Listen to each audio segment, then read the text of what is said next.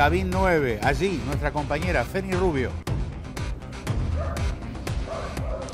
Alberto, sí, lamentablemente tenemos que hablar de una nueva balacera. En esta ocasión ocurrió según pudieron detallar algunos vecinos, pasadas las 18 horas, en una carnicería que es atendida habitualmente por dos personas, por dos hombres de la misma familia según nos pudieron relatar aquellos que estaban en la zona o que pudieron hablar incluso con el dueño del establecimiento, pasadas las 16 horas, cuando abren el lugar, encuentran una nota que les decía comuníquense y un número de teléfono.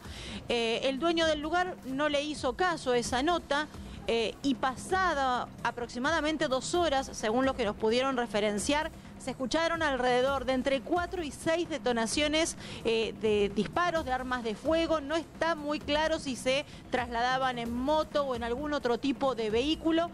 Lo cierto es que era un horario muy transitado, que varios impactos terminan dando contra el frente de esta carnicería que afortunadamente no logran herir a nadie, pero que claramente es un mensaje que le han dejado y que tiene que ver con esa primera nota, especulan, porque se trataría de algún pedido extorsivo de dinero por protección, eh, según los vecinos que te cuento. Nosotros intentamos hablar con algunos, nos cuentan muy escuetamente lo que está sucediendo y hasta ahí nada más, porque claro, dicen que acá se están disputando entre dos bandas que no nos dieron el nombre, pero que esto no sería algo inusual. Sí, tal vez la balacera, pero no las amenaza comerciantes.